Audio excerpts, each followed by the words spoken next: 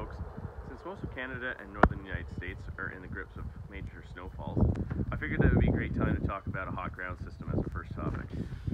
Hot ground systems I suggest for anyone who wants to have a shock uh, during the winter uh, if they have heavy snowfall, uh, anywhere where there's dry, sandy, or shallow soils.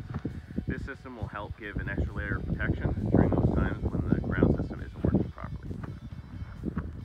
set up a hot ground system is you start off like any normal fence. So I have my small demo fence here with a three wire system. On a typical fence, you would attach all three wires together, but on a hot ground system, you're gonna have, on this particular model, a hot, ground, and hot.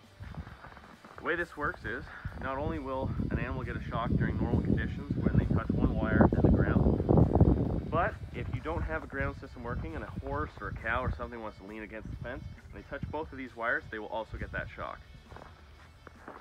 The way you set this up is, you attach your energizer, the power to the top wire, connect top and bottom together, and then with your middle one, you attach it directly to the ground rods and then the ground rod to the energizer.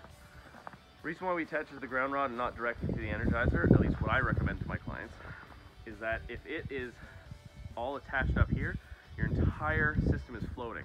That means if there's any shorts, if there's any uh, electrical surges, if there's any lightning that hits your fence, everything has to go back to the box to get discharged. And you don't want that to happen. You want to have that extra layer of protection. On top of that, when the conditions are normal, let's say in spring and summer, you still want to have that typical just touching one wire so that when they're testing it, they don't have to lean up against the fence and cause damage.